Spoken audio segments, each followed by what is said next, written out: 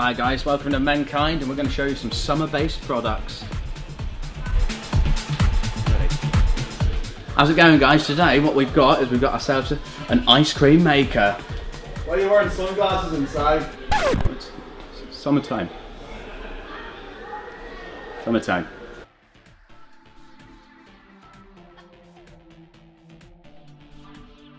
Today we're going to be rolling ourselves some quality ice cream. Right.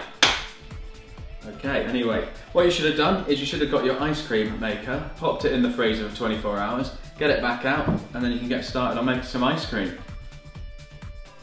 So what we need to get started is 150 grams of condensed milk, 250 millilitres of double cream, and vanilla extract for taste. With all our ingredients, let's get mixing. At this point we want to combine all our ingredients together to create our ice cream base.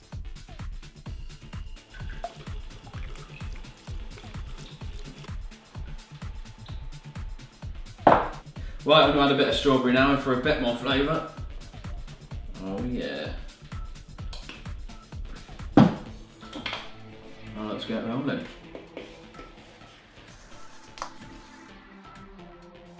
This is the point where you want to add any additional ingredients, such as fruit, chocolate or sweets.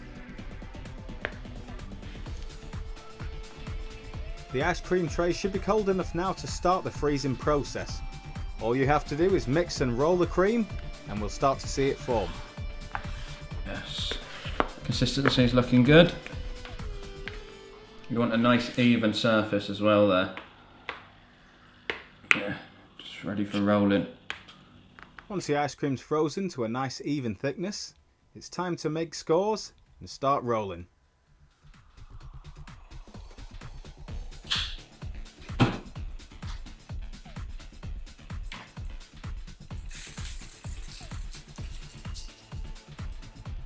And as simple as that, it's homemade ice cream made the easy way. Wow.